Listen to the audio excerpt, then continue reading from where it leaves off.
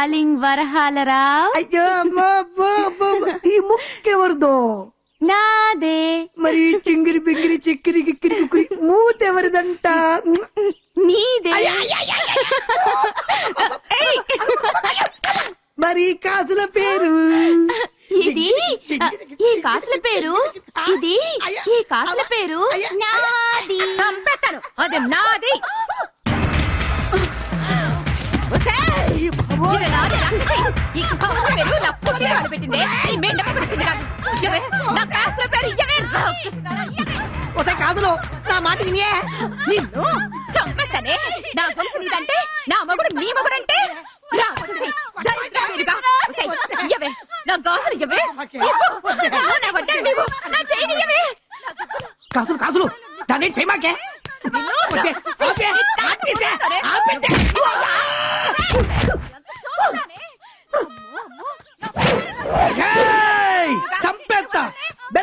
బెల్లపచ్చులు నరికేస్తా. అయిపోయావా చా!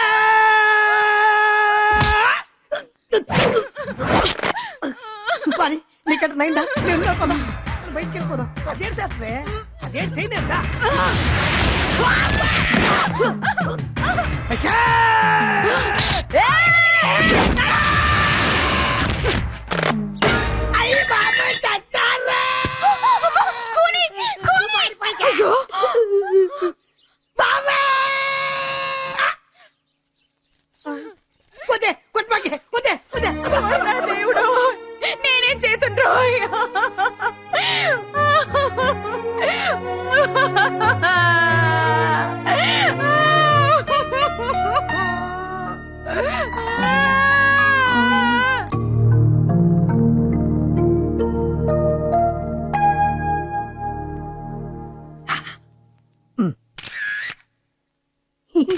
కాస్త దుఃఖం నటించండి. అలాగే.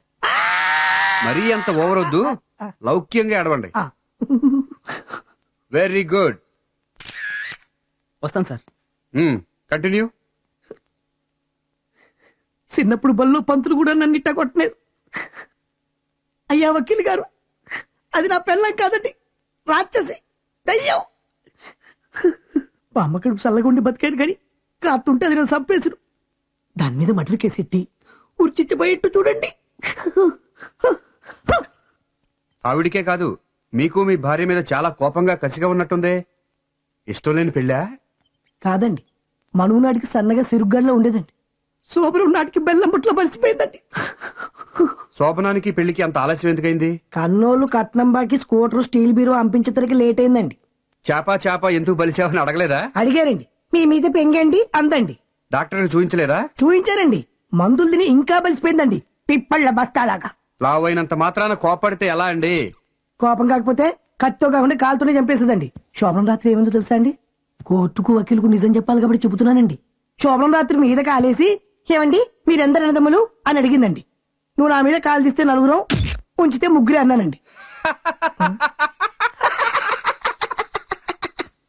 ఈ భర్తతో సరదాగా ఎక్కడికి వెళ్ళు సినిమాకి వెళ్తే మూడు టికెట్లు. నా కోటి దానికి రెండు. హోటల్కి వెళ్తే డబల్ ఛార్జ్. అలాంటప్పుడు ఇలాగ నెట్టుకుంటే తప్ప. ఇలాకాలు మాత్రం బలిసి బస్తాలైపోరా? ఇలాక బలవదు. బలిస్తే ఇలాక అవ్వనేదు అవ్వదు. ఇలాక గిలాక అనకూడదు. పెళ్ళాం అసహ్యం ఓహో. లావు అనకూడదు. మ్మ్. రేపు పత్రికల వాళ్ళ దగ్గర కోర్టులో చాలా జాగ్రత్తగా ఒళ్ళు దగ్గర పెట్టుకుని మాట్లాడాలి. అమ్మా.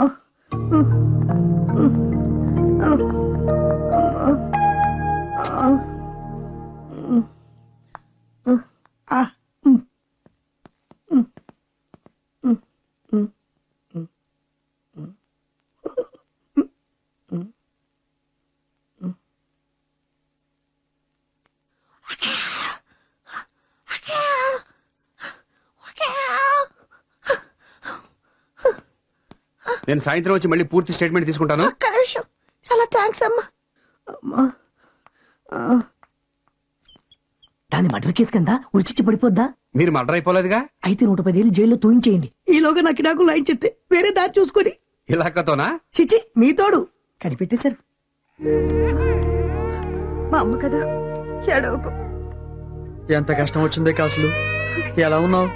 రాత్రి ఏం తిన్నావే? ఏడవకు ఏడవకమ్మా ఏడవకే. నా సంగతి సరే కాని బాబాయ్ ఆయన ఎలా ఉన్నారు? కట్టు కట్టారా? మందేశారా? నిన్న సావుగొట్టి సంపోయి ఇవాళ కుసులు అడుగుతున్నావా నా తల్లే. ఎందుకు చంపకూడదయ్యా నా మొగుణ్ణి ఆ దయ్యం వల్ల వేసుకుంది. మందెట్టింది. దాన్ని మరిగి నా కోపరంలో నిప్పులు పోశాడు. నాకిద్దరు బిడ్డలు తెలుసా? వాళ్ళు నోళ్ళు కొట్టి నా నోరు కొట్టి దాచిన డబ్బంతా. నేను ఏడిస్తే ఇది ఏడిసి బట్ట తడిపెత్తది బాబాయ్. అలా బయట పోయించి తీసుకురా. నా బిడ్డలు నోళ్ళు కొట్టి నేను దాచిన డబ్బంతా దోచుకుని దాని పాలు చేశాడు. నా గాజులు నా గొలుసు కాసుల పేరు అన్ని దోచి దాని ఎదర పోశాడు. అసలు అన్ని సంపాలే నరకాలా. అవును సంపాలనే కొట్టాను. నా మంగళాస్త్రం బలంగా ఉండి బతికాడు గాని సంపిన పాపం లేదు.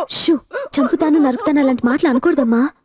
ఎందుకు అనకూడదమ్మా ఆడలాంటి పాపిష్టి పనులు చెయ్యొచ్చా అదే పాడు పని ఆడది సెత్తే చిచి అయ్యం పాడు మాటలు? పాడేవిటమ్మా మొగుడు అలాంటి పనులు చేస్తే తప్పే కదా? మగాడు మహారాజు. మా పెన్నుడికి ఇంకా ఇద్దరు ఉన్నారంట. అంటే ఒకే తప్పుని మొగాడు చేస్తే శృంగారం ఆడది చేస్తే వ్యభిచారం అంటావు. అవన్నీ నాకు తెలదు. ఆడది సిగరెట్ కాలిస్తే? చిచి! ఆడది ఇలా ఆలోచిస్తే ఎలా బాబాయ్? నువ్వెంత చెప్పు? ఇది మా గాడి రాజ్యమేనమ్మా. కాసులు నువ్వు భయపడకు. నిన్న దేవుడే కాపాడతాడు. ఆయన మగాడే కదా.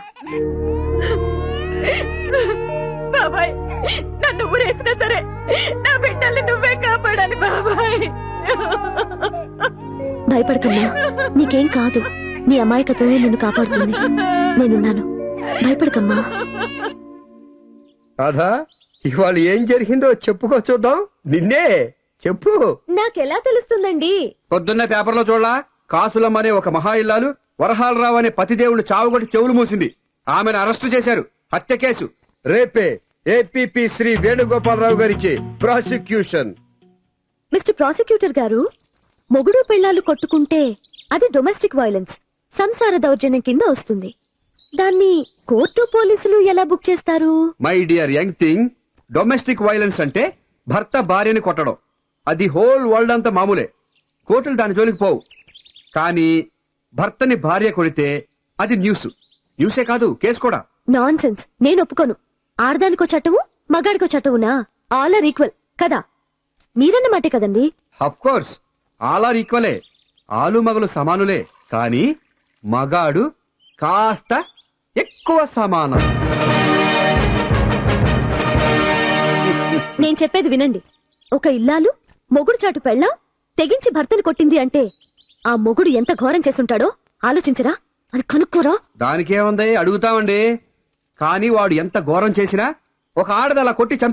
But she can't take law into our own hands ముందు పోలీసు రిపోర్ట్ ఇవ్వాలి. ఓహో వాడింకో ఆడదాంతో కులుకుతూ ఉంటే? నేను పోలీసులకు చెప్పొస్తా? అందాక ముద్దులాడుకోండి అనాలా? అంత ఖచ్చితంగా. చూసినట్టు చెప్తున్నావు? ఎలా తెలుసు?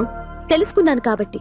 ఈ కేసులో ఆ ఇల్లాలు కాసులమ్మ తరఫున నేను వకాలత్ తీసుకున్నాను కాబట్టి. వాట్?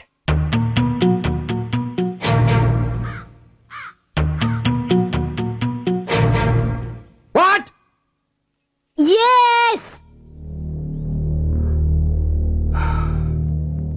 నేను అసిస్టెంట్ ప్రాసిక్యూటర్ని రాధా.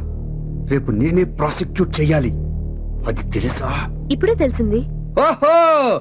తెలియక కేసు తీసుకున్నావా? గుడ్! ఓకే! ఇప్పుడు తెలిసిందిగా? వదిలే. థ్యాంక్ యూ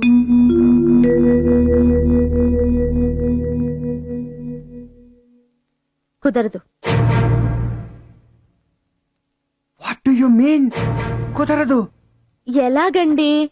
ఎలా కుదురుతుందండి? నేను ఒప్పేసుకున్నాను. అయినా వాట్ ఈస్ రాంగ్? ఏమిటండి నేను చేస్తున్న తప్పు? తప్ప తప్పు నర్రా. నేను నీ భర్తని నిండు కోర్టులో ఒక క్రిమినల్ కేసు ప్రాసిక్యూట్ చేస్తుంటే నువ్వు నా పెళ్ళానివి నన్నే ఎదిరిస్తావా? నీకెంత ధైర్యం? నేను పోనీ పాపని లాయర్ని చేస్తే నన్నే ఖండిస్తావా? సంగతి చెప్పినా కూడా కాదంటావా? కేసు వదిలేమని ప్రాధాయపడుతుంటే చీకొడతావా అగో ఇదే ఆగమంటుంటే ఎంతకి తెగించావు? నువ్వు ఆడదానివేనా ఇల్లాలివేనా నీకు మొగుడంటే భయం భక్తి లేదా? ఇదిగో పది మందిలో నన్ను ఎదిరిస్తావా? కేసు పేరుతో నువ్వంటే నువ్వని అరిచి నా పరువు తీస్తావా? ఇందులో పరువు పోవటం ఎక్కడుందండి? ఎవరి కేసులోనూ వాళ్ళ తరఫున బాధిస్తూ మీ మాటని కాదంటే ఎదిరిస్తే అది మీకెలా తగులుతుంది? అదిగో అదే వద్దంట. అదే పొగరమొత్తాను. ఆఖరిసారి చెప్తున్నాను ఈ కేసు వదిలిపెట్టు. లేకపోతే చాలా దూరం వెళ్తుంది. గుర్తుంచుకో after all you are my wife. నా పెళ్ళానివి. జాగ్రత్త.